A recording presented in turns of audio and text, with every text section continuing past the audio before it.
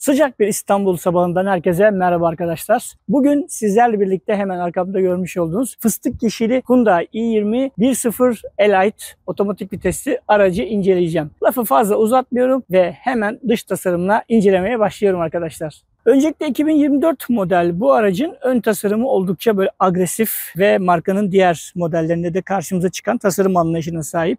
Şöyle böyle farklı bir şekilde tasarlanmış ızgaramız var. Alt kısımdaki difüzörler filan da oldukça güzel bir tasarıma sahip. LED farlarımız var.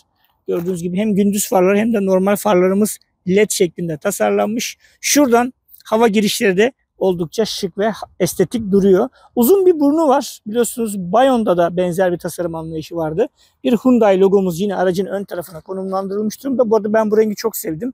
Sevmeyenler de olacaktır. Lansman rengi olarak geçiyor. Fıstık yeşili. Yan tarafa doğru döndüğümüzde e, i20 aslında biliyorsunuz uzun yıllardır ülkemizde üretilen bir otomobil. Oldukça estetik bir tasarım var. O keskin çizgiler yine aracın yan kısmında da devam ediyor. Gördüğünüz gibi çelik jantlarımız mevcut. Bunlarla ilgili teknik detayları videonun çeşitli yerlerinde sizlerle paylaşacağım. Bu tasarım anlayışı aracın her yerinde var. Şurada görüyorsunuz sunroofumuz var açılabilir. Sadece şu kısmı yani genelde ön tarafı kapsayan bir sunroof var. İç kısımdan da kapatılabiliyor. Onu da göstereceğim. Depo kapağımız burada. Şöyle yapınca açılıyor görüyoruz. Arka tarafa geldiğimizde arkadaki tasarım da yine ön tasarımın devamı niteliğinde. LED farlarımız burada da bizleri karşılıyor. Bütün böyle boydan boya da farların olduğunu söyleyeyim. Gelmişken burayı açalım. Kameramız da burada. Açalım. Burada benim çantalarım falan var. Ekipmanlarım var. Şunları bir alalım. Geniş bir bagajımız var. Bu arada bagajda yedek lastik yok. Şöyle göstereceğim size. Şöyle gördüm. Tamir kiti geliyor. Pompamız var. Burada işte çeşitli ekipmanlarımız var ama lastik yok. Lastik yeri var bu arada ama lastik yok. Belki sonradan alınabilir bilmiyorum. Şurada böyle bir askılı alanlarımız var. Şuraya yangın tüpünü koyacağımız yer var. Yangın tüpü burada ama burada konulabiliyor. Şurada güzel bir sistem var arkadaşlar. Panzidotu buraya şunları söküp şöyle göstereyim hemen. Şunları söktük. Bu panzidotu böyle çektik. Birazcık çekmek gerekiyor. Şöyle çekelim. Buraya yuvasına girdi. Bakın böyle bir yuva var burada. Buraya da çektik. Şöyle. Böyle gizleyebiliyorsunuz. Güzel, hoş, basit ama hoş bir detay olmuş. Şimdi aracın ben arka koltuğuna geçeceğim ve incelemeye oradan devam edeceğim. Şimdi arka yaşam alanı bu şekilde. Buraya geçiyoruz. Bu arada oldukça ferah bir alan var burada. Tavan e, camdan dolayı daha doğrusu sunroof'tan dolayı birazcık şurada birazcık yükseltimiz var. Şöyle göstereyim.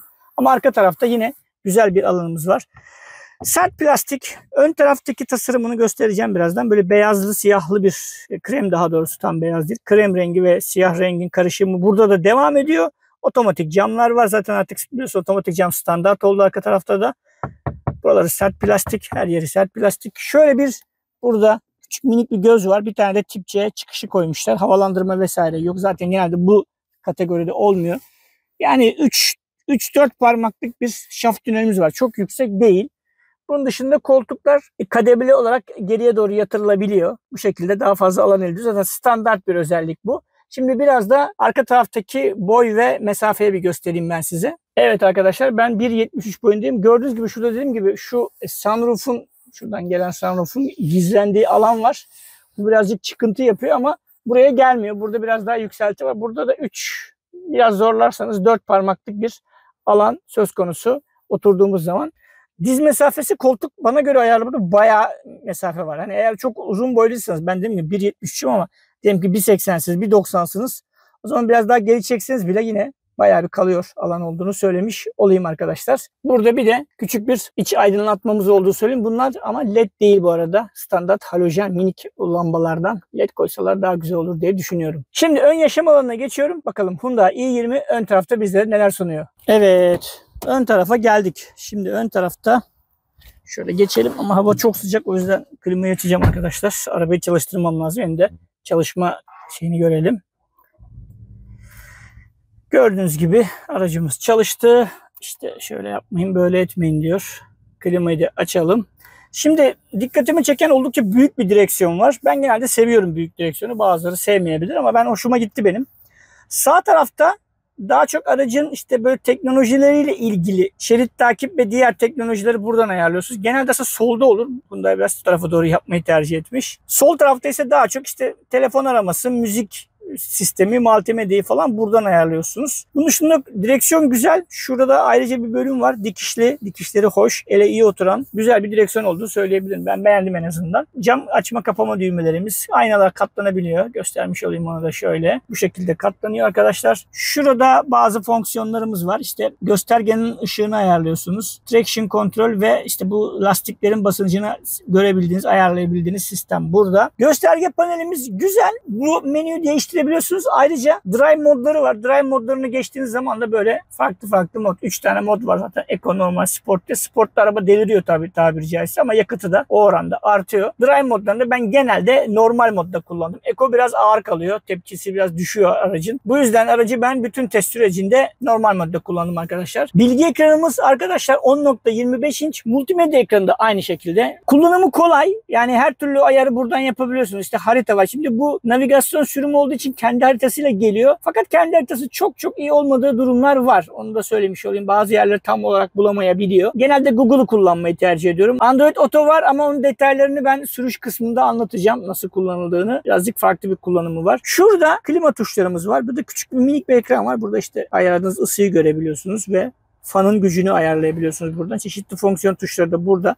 Şurada bir tane tip A bağlantımız, bir tane tip C var. Bir de çakmak standart çakmağımız var. Şu alanda Kablosuz şarj özelliği var. Hemen de size göstermiş olayım. Şuraya koyduğunuz zaman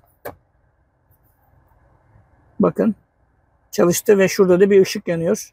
Bu şekilde kullanıyor. Şurada sürüş modlarını buradan ayarlıyorsunuz. Park asistanı ayarları vesairesi buradan yapılıyor. Bir de kamerayı buradan açıyorsunuz. Kamera çok kötü değil, çok iyi de değil. Öyle söyleyeyim. Yani buradan mesela şöyle göstereyim.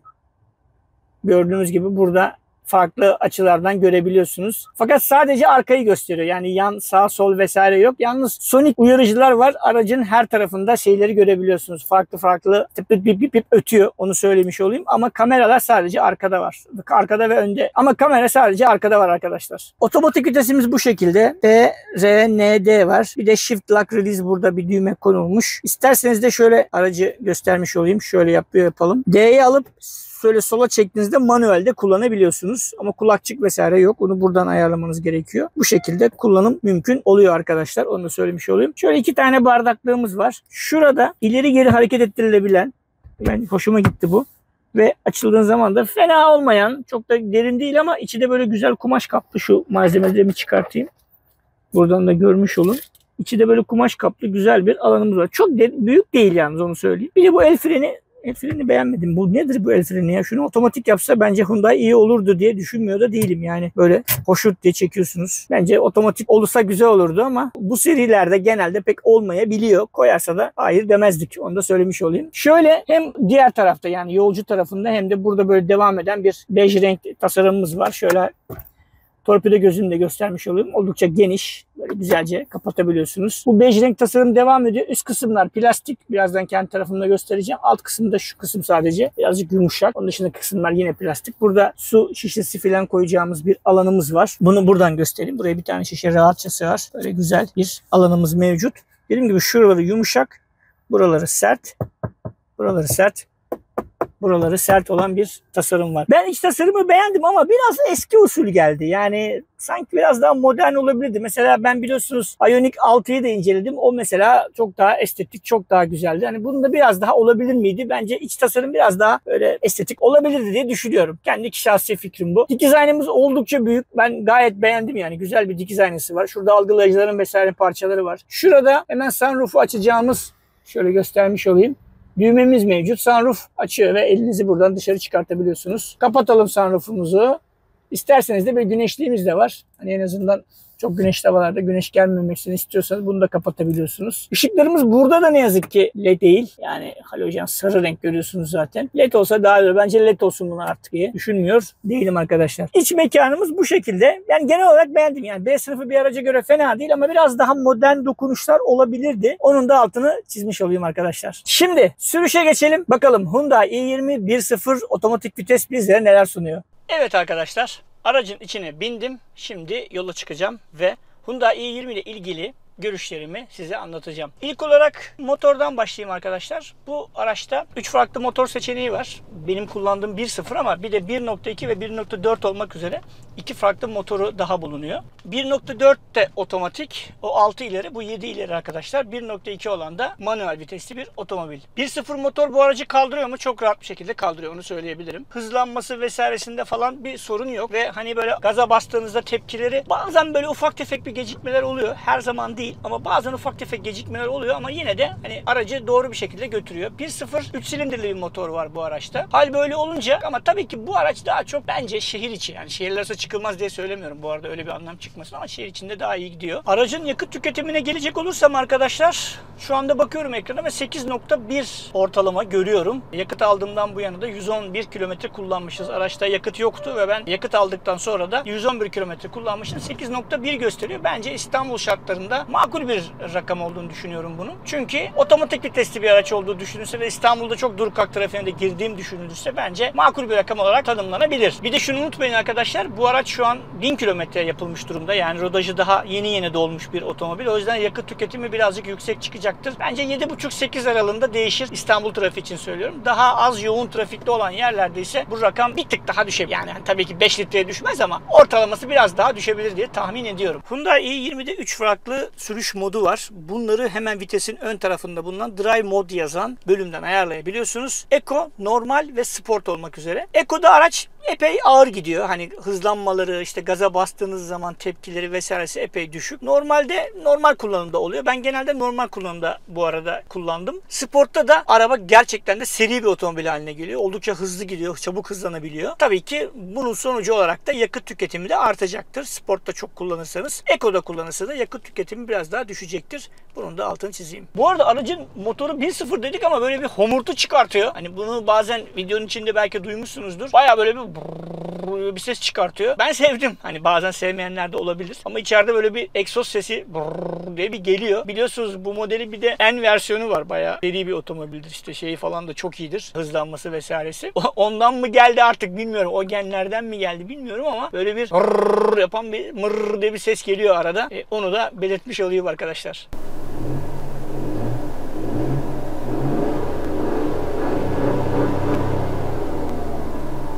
Hyundai i20'de güzel bir ambiyans aydınlatma olayı da var. Hem yolcu hem de sürücü tarafındaki kapıların iç kısmında aydınlatmalar bulunuyor. Bunların renklerini vesairelerini de ayarlayabiliyorsunuz. Bence bu güzel olmuş. Otomatik vitesin rahatlığı tabii ki biliyorsunuz yani hani rahatlığını çok oturup hani saatlerce anlatmaya vesaire yapmaya gerek yok. Şimdi aracın iç mekanında aslında anlatmıştım ön tarafta. Ön tarafı biraz ben eski moda buldum. Yani böyle 4-5 sene öncesinin araçlarını daha çok benzeyen bir tasarım var. Biraz daha modern bir dokunuş olabilir. Ha ne olabilir? Ne olabilir? Belki işte bir biraz daha böyle kokpit mesela bence benim hani beğenmediğim taraf. Biraz daha böyle kullanıcıya yönelik olsa, şöyle hafif bir açı olsa biraz daha güzel olmuş. Çok düz bir tasarım var. Hani bu tasarımı ben beğenmedim. Bu kişisel bir yorum olabilir. Çok beğenenler de çıkabilir. Ha bu arada fonksiyonellikte falan bir sorun yok. Her şey gayet güzel. Kocaman bir direksiyonumuz var. Bir beğenmediğim tarafı da bu ses tuşları solda mesela. Hani sağda olsa daha iyi olur ama Hyundai herhalde böyle yapıyor anladığım kadarıyla. Çünkü ben ilk defa i20 test ediyorum. Daha önce Hyundai'nin farklı araçlarını test ettim ama i20'yi ilk kez test ediyorum arkadaşlar. Bunlara ek olarak arkadaşlar anahtarsız giriş çıkış sistemimiz var. Fakat onu kullanırken de şöyle bir durum var. Anahtarla cebinizde diyelim ki kapıya dokunmanız gerekiyor. Hani bunu da bana biraz eski nesil gibi geldi. Biliyorsunuz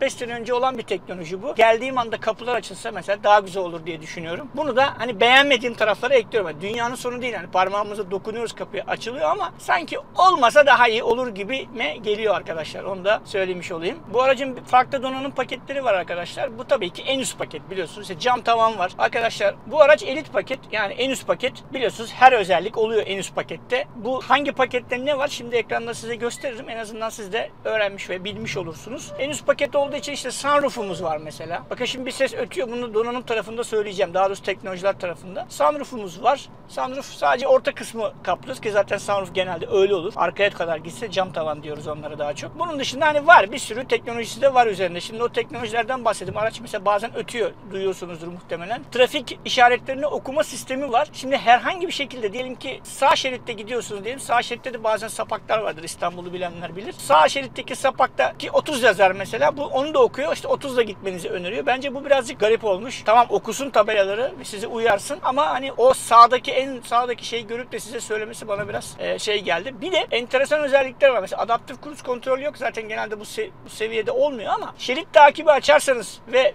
direksiyonda tutma ayarını açarsanız ikisinde ayarı var e, direksiyonun üzerinde arkadaşlar. Araç kendi kendine gidiyor yani, yani resmen. Tabi önünüzde bir engel varsa onun ondan geçemiyor ama kendi kendine gidebiliyor. Onu da belirtmiş olayım arkadaşlar. Güzel özelliklerden bir tanesi. Ben bu özelliği beğendim. Yarı otonom gibi bir şey oluyor. Hani aracı böyle eğer çizgilerde düzgünse tabii ki yerdeki ve o özelliği de açarsanız kendi kendine direksiyonu sağa çeviriyor, sola çeviriyor. Belli açılara kadar yapabiliyor bunu. Ben bu tarafını beğendim. Yani bu kategoride bulunmayan bir özellik bu. Bunun da altını çizeyim. Bu arada arka yaşam alanını çok beğendim. Böyle çok geniş, ferah, böyle Lebi derya bir yaşam alanı var. Bence B sınıfı bir araba içinde güzel bir arka yaşam alanı olmuş. Tamam öndeki tasarım eskiliğini beğenmedim ama arka taraftaki şeyi de beğendiğimi söyleyeyim. Gelelim multimedya ekranımıza. 10.25 inçlik bir multimedya ekranımız var. Bu ekran birçok özelliği kullanabiliyorsunuz. Bir de bu navigasyon paketi. Fakat bence navigasyonda şöyle bir sorun var. Olmasa da olurmuş. Çünkü şimdi navigasyon dediğimizde artık işte Google haritalar ya da işte Apple haritaları kullanıyoruz hepimiz. Telefonu bağlıyoruz. Bu arada kablosuz e, kablolu baştan kablolu bağlamanız gerekiyor. Sonra kablosuz çalışabilen bir Apple CarPlay ve Android Auto özelliklerinin olduğu söylendi bana. Denedim. Kablolu takıyorum ama kablosuz'a geçemedim ama var dediler. Demek ki vardır diye düşünüyorum. Günün sonunda hani araçta bu multimedya ekranı güzel. Tamam her bir şey yapabiliyor ama günün sonunda araçtaki multimedya ekranı güzel. Ama navigasyon sistemi bana bir parça gereksiz geldi. Çünkü hepimiz artık Google kullanıyoruz ya da Apple kullanıyoruz harita anlamında baktığımızda. Bunlar varken hani navigasyonu neden kullanalım? Mesela ben onu ikna olamadım o konuya. Çünkü şimdi Google'da işte trafiği de gösterebiliyor. Bunda da var olduğunu gösteriyor ama sonuçta internet gerekiyor o iş için. E, Google'da var sonuçta onu telefonunuzdan açtığınız için o interneti de sağlamış oluyorsunuz bir şekilde. Fakat mesela bazı yollarda öyle bir yol olmadığını düşünüyor. Çünkü güncelleme gelmemiş ki bu Google'da bile olabiliyor bu arada. Sadece hani bu bütünleşik navigasyona suçu atmıyorum ama bunun güncelliğini yapmak o kadar kolay bir şey değil biliyorsunuz. O yüzden bence navigasyon paketi olmasa da olurmuş. Dünyanın sonu değil. Navigasyon paketi olmadan da bu multimedya ekranı gayet güzel bir şekilde kullanılıyor. Dokunmatiği vesairesi iyi. Orada bir sorun olmadığını da belirteyim arkadaşlar. Gelelim fiyat meselesine. Şimdi bu otomobilin fiyatı ben bu incelemeyi yaptım. Tarih itibariyle 1.2 milyon TL civarındaydı. Bu arada ben Hyundai'yi şu özelliğini takdir ettim. Ne varsa o pakette var. Mesela bazı markalarda işte Renault'da mesela öyle. Paketler var orada da tamam ama mesela o paketin üzerine de bir şeyler alabiliyorsunuz. Burada yok. Paketin içinde ne varsa her şeyi koymuşlar. O benim hoşuma gitti. Hani ekstra bir tek galiba metalik renk için bir fark alınıyor. Onun dışında hani bilmem ne özelliği için işte 10 bin lira ona ver, 20 bin lira buna ver falan gibi bir şey yok. O pakette olan her şeyi koymuşlar. O hoşuma gitti. Piyasa fiyatlarına baktığımızda hani 3 aşağı 5 yukarı hani bu seviyede ve otomatik vites dediğinizde 3 aşağı 5 yukarı fiyatlar böyle. Bunun rakibi de işte 500 bin liraya satmıyor. 1 milyona satmıyor. 3 aşağı 5 yukarı bu rakamlarda geziyor fiyatlar. Ben normal diyorum. Hani fiyatların yüksek olduğunu söylüyorum. O başka bir konu. Hani bazen diyorsunuz çünkü bunu bana çok eleştiriyorsunuz. İşte 1.2 milyona uygun fiyat mı falan. O fiyatı Hyundai belirlemiyor ya da Renault belirlemiyor ya da Ford belirlemiyor arkadaşlar. Devletimiz belirliyor. O alınan vergilerden dolayı böyle saçma sapan rakamlar yani bir şey diyemiyoruz onlara artık. Ee, ama araba güzel olmuş. Hani benim beğenmediğim tarafları da oldu söyledim videonun içinde. Ama genel olarak baktığımız hani bunlar ufak tefek meseleler. Hani böyle aa işte ya bunu da niye yapmış o diyeceğim konular değil. Bir kısmı benim kişisel beklentilerimden kaynaklanıyor. Bir kısmı da hani olmasa daha iyi olurdu diyeceğim şeyler. Belki sizin de dikkatinizi çeker diye bunları söylüyorum. Mesela ben el frenini de beğenmedim. Hani şöyle bildiğiniz mekanik bir el freni var. Hani bu böyle en üst paket olan bir arabada en azından bir şey olsaydı elektronik fren olsa bence daha güzel olurdu. Bu kategoride olanlar var. Hepsinde yaygın olduğunu iddia etmiyorum. Bu arada şunu da eklemek isterim. Otomatik vitesi isterseniz manuelde kullanabiliyorsunuz. En dipteyken yani D modundayken çekerken sola doğru çektiğiniz zaman araç manuel vitese geçiyor arkadaşlar. Buradan kendiniz yaparak 1, 2, 3, 4, 5 yaparak işte veya aşağı doğru inerek aracı kullanabiliyorsunuz. Bir videonun daha sonuna geldim arkadaşlar. Bu videoda sizlere Hyundai i20 1.0 Elite paketi anlatmaya çalıştım. Benim anlatmayı unuttuğum sizin merak ettiğiniz konular mutlaka vardır. Olur, olacaktır da. Benim için önemli olmayan ama sizin çok önemli olan konular olabiliyor. Yorumlarda yazın. Fikirlerinizi, görüşlerinizi paylaşın. Hem ben öğrenmiş olurum hem de diğer arkadaşlar da öğrenmiş olur. Bilmediğimiz konular varsa da onlarla ilgili de yorumlarımı yaparım arkadaşlar. E ben bu kadar uğraşırken sizden de küçük bir ricam var arkadaşlar. Kanala abone olarak bana destek olabilirsiniz. Çok mutlu olurum, çok sevinirim. Şimdi bu kanala abone olma meselesi önemli. Kanala abone olduğunuz zaman hem benim elim daha güçlü oluyor. Hani bazen işte araç isteme vesaire diğer konularda. Hem de birçok anlamda da hani bana motivasyon sağlamış oluyorsunuz. Bu konuda desteklerinizi bekliyorum arkadaşlar. Bir otomobil incelemesinin daha sonuna geldim arkadaşlar. Farklı bir incelemede, farklı bir videoda karşınızda olmak üzere. Hoşçakalın. Kendinize iyi bakın.